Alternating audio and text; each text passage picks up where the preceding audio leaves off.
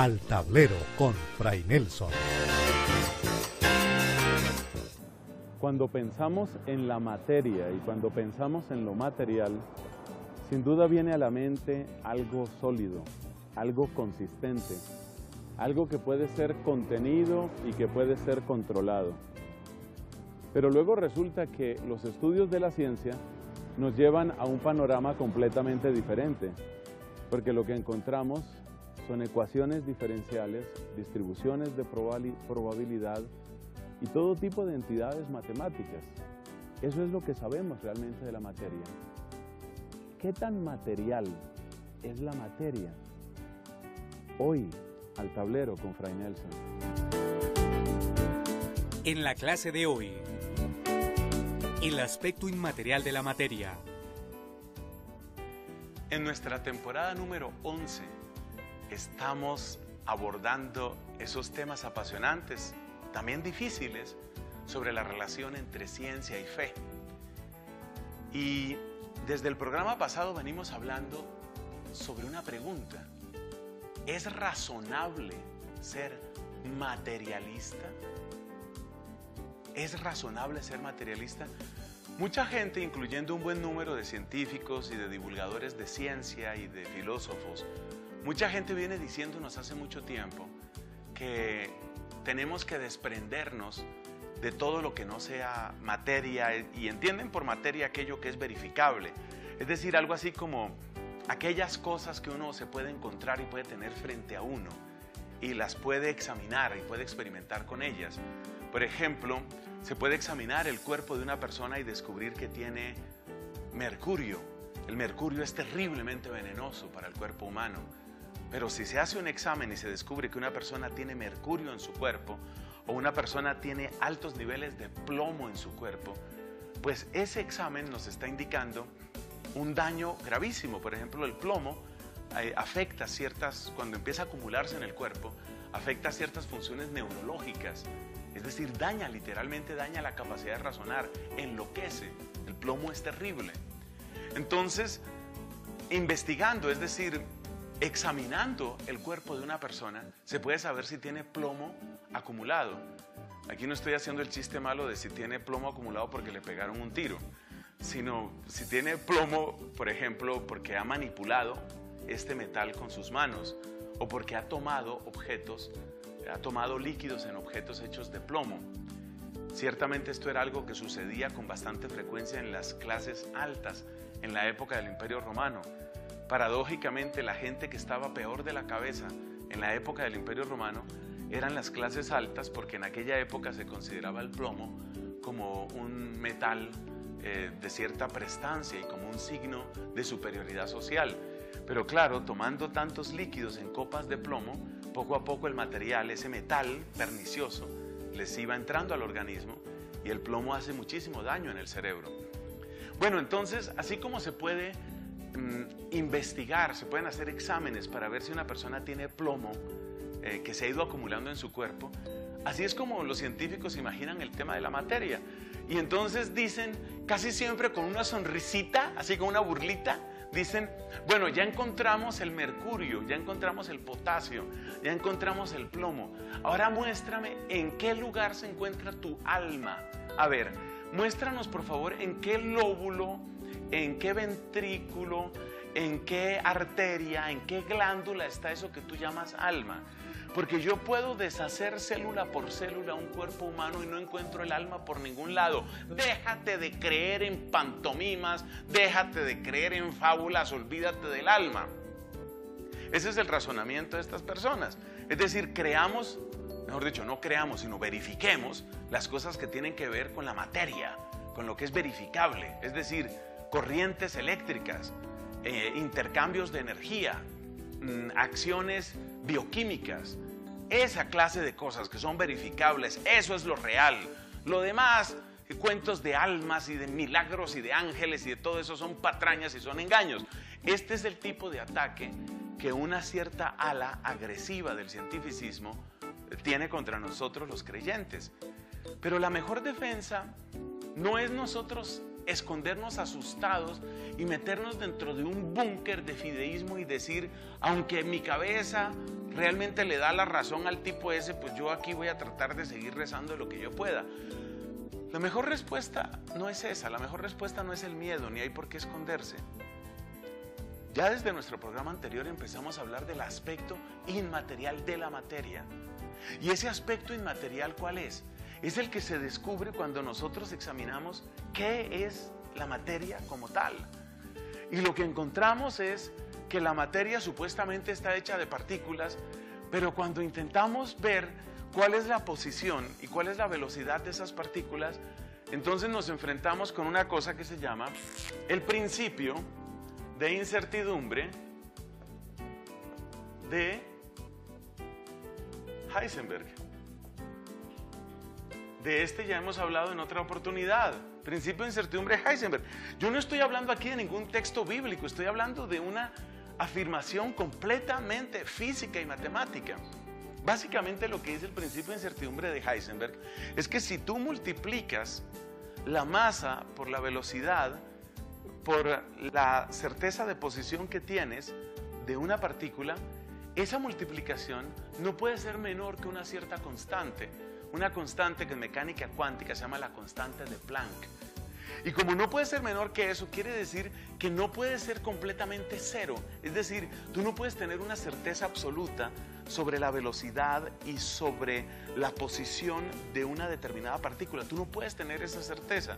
Eso quiere decir que nosotros lo que tenemos con respecto a las partículas, y partículas quiere decir básicamente pues las grandes que conocemos de toda la vida, los electrones, los protones, los neutrones, nosotros no tenemos certeza sobre dónde están esas partículas. ¿Qué es lo que tenemos en cambio? Lo que nos ofrece la mecánica cuántica, que es la rama más avanzada del conocimiento científico en lo que tiene que ver con este reino subatómico, lo que tenemos en mecánica cuántica son las llamadas ondas de probabilidad. Ondas de probabilidad. Es decir, lo que nosotros tenemos es una distribución en el espacio, digamos que aquí se encuentre un núcleo, este es un núcleo, y entonces lo que nosotros tenemos es una distribución en el espacio de cuáles serían las distintas probabilidades de encontrar un electrón, por ejemplo, a esta distancia o a esta distancia o a esta otra distancia. Eso es lo que nosotros tenemos. Es decir, únicamente tenemos ese tipo de probabilidades. Bueno, ahora yo hago esta pregunta. Si eso es lo único que nosotros tenemos, realmente yo me encuentro con un electrón de la misma forma que me encuentro con los rastros de plomo o los rastros de potasio en un cuerpo humano? Nosotros, nosotros realmente atrapamos a esta clase de partículas. ¿Tenemos certeza sobre esta clase de partículas? Yo no estoy poniendo en duda la mecánica cuántica, no estoy poniendo en duda las partículas subatómicas, simplemente estoy diciendo que el tipo de conocimiento que nosotros tenemos sobre estas partículas no es el conocimiento de un objeto que yo tengo frente a mí, sino lo que nosotros en primer lugar tenemos con respecto a, los, a las partículas subatómicas, de cuyas propiedades depende todo el edificio del conocimiento físico, lo único que tenemos son descripciones matemáticas. Si tú empiezas a estudiar mecánica cuántica, lo primero que te van a decir tus profesores, si son buenos profesores, es esto. Porque a mí ya me lo dijeron. Lo primero que te van a decir es, la imaginación no es una buena aliada para esto. O sea, no intentes imaginarte los electrones como bolitas chiquitas, bolitas de billar, de esas que reflejan así con un puntico blanco, reflejan la luz. No intentes imaginarte el electrón como una bolita de color verdecito o azulito, gris plomo, eh, rojo cereza. Eso no es un electrón. Entonces, un electrón, ¿qué es lo que sabemos sobre un electrón? Mira, la respuesta metafísica de los físicos a esta clase de preguntas es la siguiente. ¿Qué es un electrón? Un electrón es lo que sabemos de un conjunto de experimentos que nos hablan de unas ondas de probabilidad asociadas con órbitas en los átomos. Eso es lo que sabemos. Eso es un electrón. Es decir, que el cuerpo de conocimientos que nosotros tenemos sobre las partículas subatómicas, esas partículas que constituyen la materia, la materia que ensalza Richard Dawkins, la materia que ensalzaba Christopher Hitchens hasta que se murió de un cáncer, la materia que ensalza Daniel Dennett, lo único que sabemos de esa materia son ecuaciones. Lo único que nosotros tenemos de esa materia son descripciones matemáticas. Modelos matemáticos ciertamente muy complejos, muy complejos. Porque es que resulta que en este dibujo que hice aquí, que no tiene mucha cara de dibujo ni sirve mucho para la física, pues se supone que tienes órbitas. Pero es que resulta que si los electrones estuvieran haciendo órbitas alrededor del núcleo, un electrón haciendo una órbita sería una corriente eléctrica. Y resulta que una de las leyes, descubierta por un señor llamado Maxwell, las leyes básicas de la electrodinámica, es que si tú tienes una corriente eléctrica, estás emitiendo un campo magnético. Y si tú estás emitiendo un campo magnético, estás perdiendo energía. Y si tú estás perdiendo energía, entonces la órbita del electrón cada vez se volvería más pequeña a medida que pierde más energía hasta colapsar en el núcleo. Y entonces no existiría nada de materia. Esta es la gran paradoja del modelo atómico de un hombre llamado Bohr. Entonces no tendríamos materia. Entonces, ¿qué es lo que nosotros realmente sabemos? Pues lo que sabemos son conjuntos sumamente densos de afirmaciones matemáticas. Y esas afirmaciones matemáticas intentan recoger la evidencia de experimentos y de ese modo se trata de establecer cuáles son las propiedades de eso que finalmente llamamos un electrón, o de eso que finalmente llamamos un quark, o de eso que finalmente llamamos un bosón de Higgs. Finalmente de lo que se trata es de tratar de llegar a eso. Entonces, Deja de imaginarte, por favor, deja de imaginarte el electrón como que es una bolita que está aquí y que brilla cuando le, cuando le pones una lucecita. Esto no es el electrón. El electrón es una cantidad de fórmulas y de descripciones matemáticas, fórmulas supremamente densas que tienen que ver con la explicación de por qué el átomo no colapsa. Y para eso tienes que hablar entonces de niveles de energía y tienes que hablar de saltos cuánticos. Esto es un electrón, es una serie de descripciones matemáticas. Esto es lo que realmente se sabe sobre el electrón. Y entonces, ¿eso qué significa? Eso significa que lo que nosotros conocemos son este tipo de propiedades. Es decir, nosotros encontramos estas propiedades. Vemos que esas propiedades se repiten, vemos que esas propiedades se encuentran en distintos laboratorios. Vemos incluso que estas propiedades parecen apuntar hacia un conjunto de afirmaciones que llamamos unas leyes. Es decir, todo esto que tenemos aquí apunta finalmente a unas leyes. Esas leyes, esas grandes leyes, esas grandes síntesis son las que tienen que ver con las llamadas fuerzas o campos dentro de la naturaleza. Por ejemplo, que hay una fuerza eh, electromagnética fuerte, la fuerza electromagnética débil, ese tipo de cosas, la gravedad. Pero, ¿y por qué esas leyes existen de esa esta, que ya la hemos formulado varias veces, esta es la pregunta fundamental. El resumen es, lo que sabemos de la materia se concentra en leyes y el porqué de las leyes, ¿a dónde nos lleva? Es decir, ¿una ley es materia? Una ley, examina esa pregunta y entramos a un receso. ¿La ley que describe lo que sabemos sobre la materia es material? La repito, la ley que describe la materia es material. Quédate con esa pregunta y ya volvemos. Ya regresamos con Al Tablero con Fray Nelson. Seguimos con Al Tablero con Fray Nelson. Queridos cristovidentes, hemos llegado a estos temas de ciencia y fe porque muchos de ustedes nos han contado de las dificultades que ustedes mismos o sus hijos han encontrado, especialmente en la universidad. Les empiezan a hablar de estos temas y les confunden la cabeza y les hacen creer que la fe es una tontería. Es decir, son las sugerencias de ustedes las que nos dan pistas sobre cómo orientar este programa. ¿A dónde escribir? Mira, al tablero con Fray Nelson. Eso va así todo seguido. No tiene guiones, no tiene rayas, puntos, al tablero con Fray Nelson, arroba, cristovision.org. Ahí es donde hay que escribir. Ahí vienen tus preguntas, vienen tus sugerencias, tus comentarios, también tus palabras de ánimo. A mí por lo menos me hacen bien esas palabras, me animan porque, porque bueno, ya llevamos bastante más de 130 programas y sirve mucho saber de ti y escuchar una palabra de aliento. Mira, amigos, arroba frainelson.com es otro correo que te puede interesar. Si quieres recibir formación católica todos los días, esto se envía todos los días a tu buzón de una manera completamente gratuita. Amigos arroba para recibir formación católica todos los días, al tablero con frainelson arroba para tus preguntas, sugerencias, comentarios, críticas. Dios te bendiga.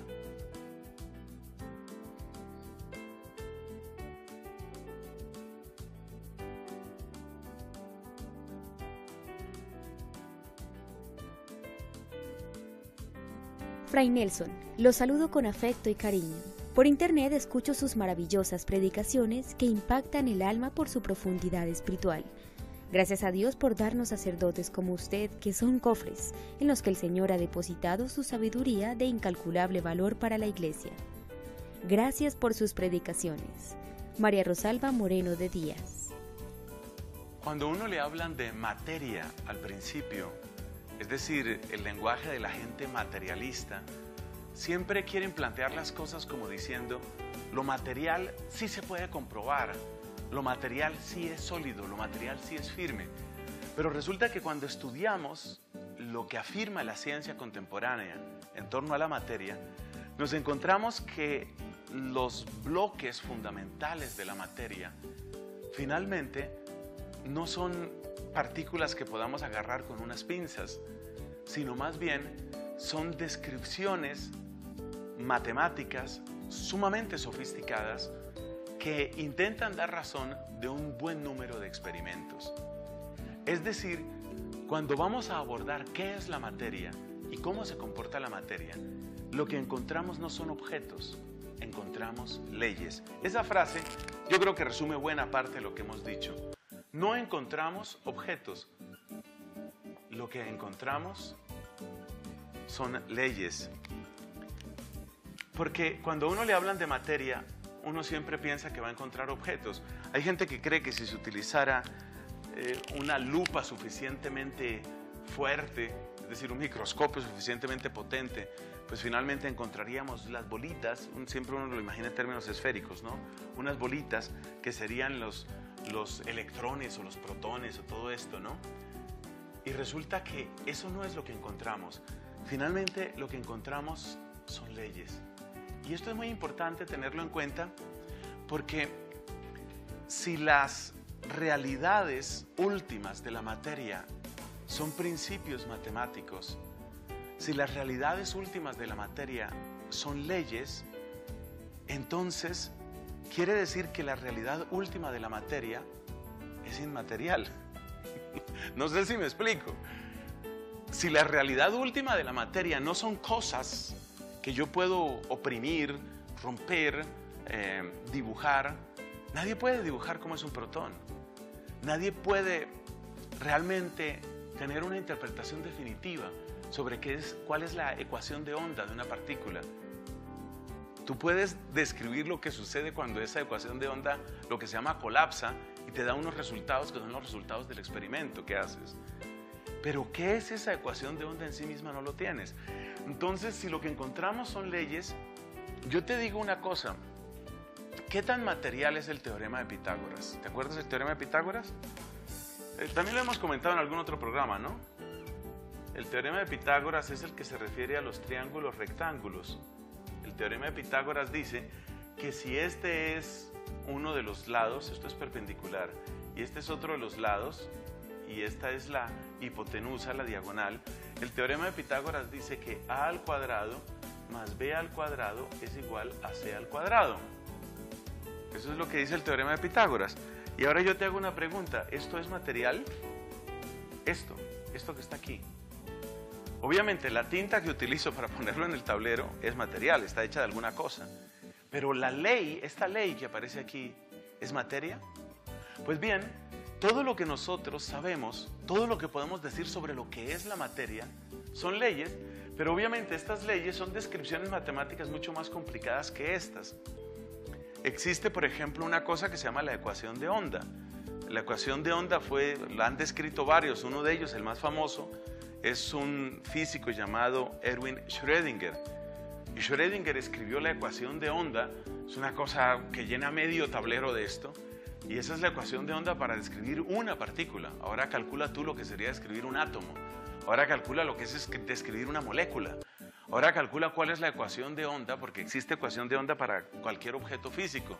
La ecuación de onda de un tejido, o cuál será la ecuación de onda de tu hijo, o la ecuación de onda de tu novia. Ella también tiene su ecuación de onda.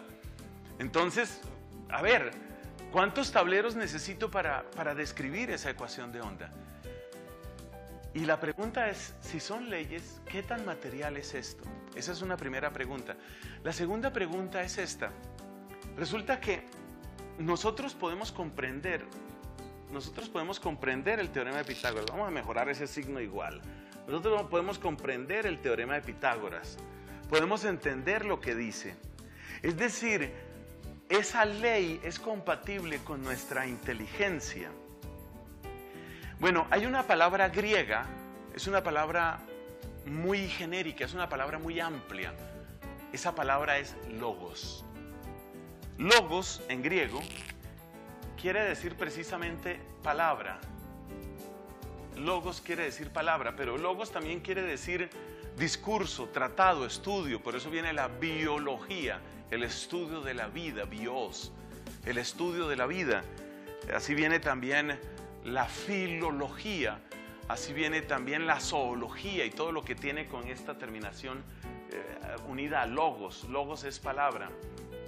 Entonces, y de ahí viene también lógica, y de ahí viene lo que es lógico. Lógico es lo que tiene un logos.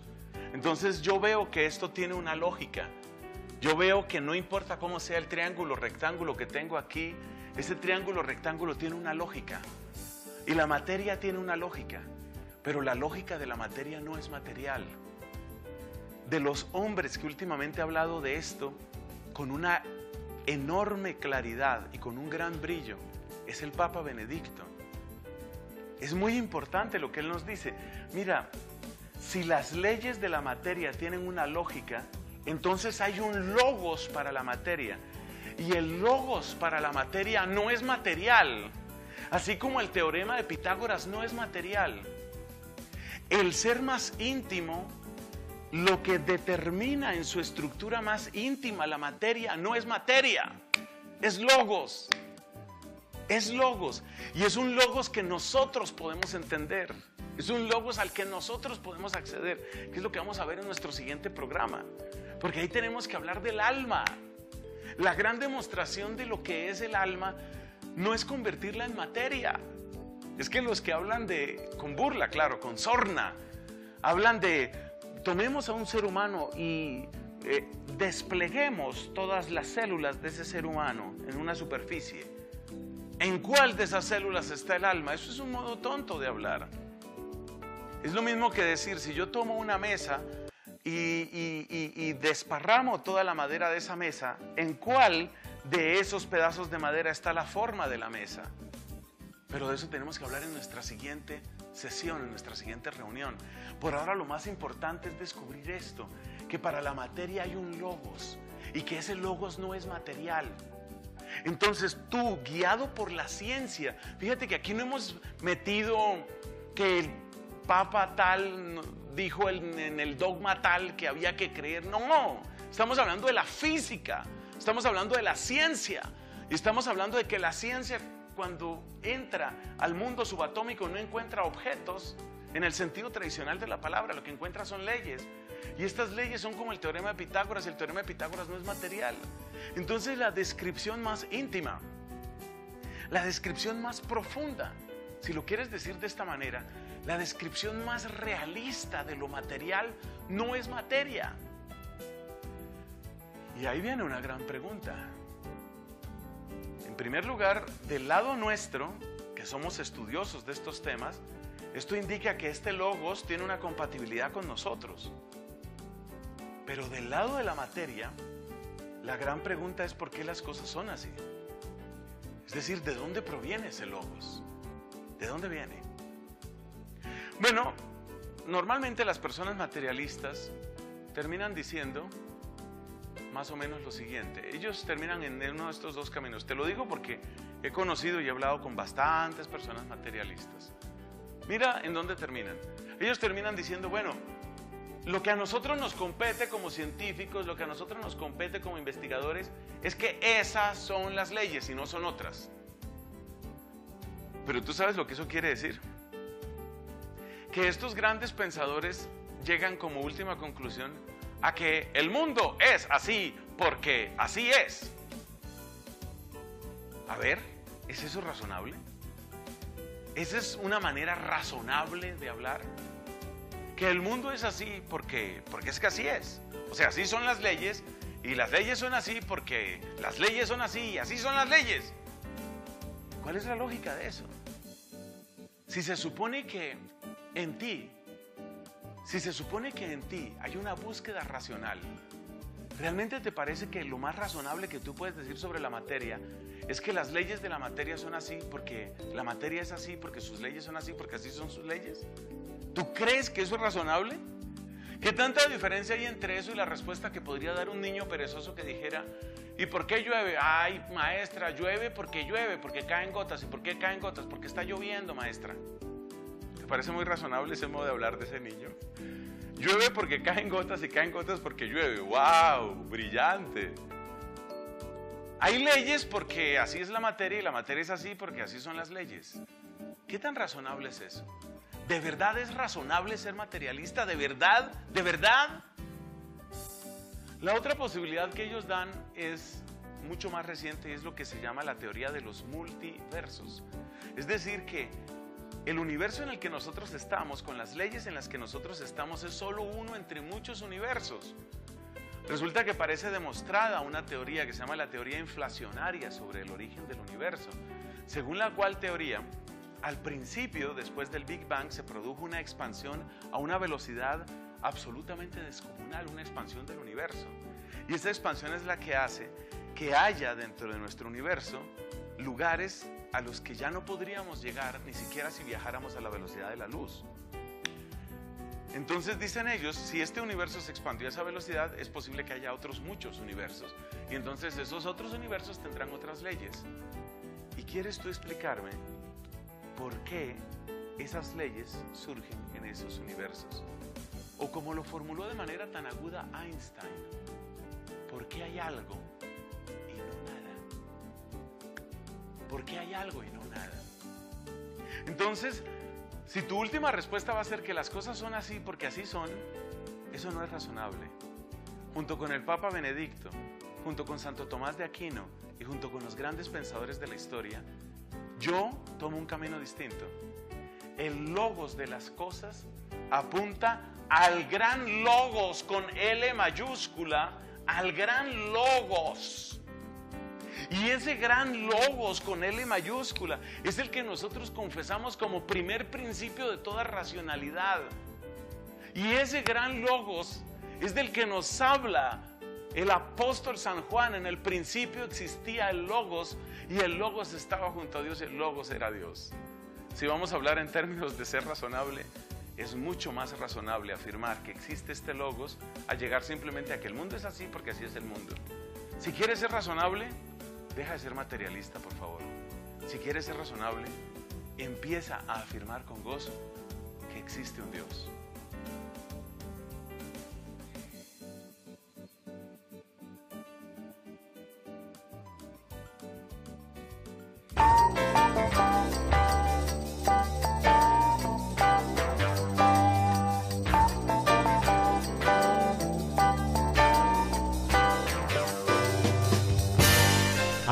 Tablero con Fray Nelson.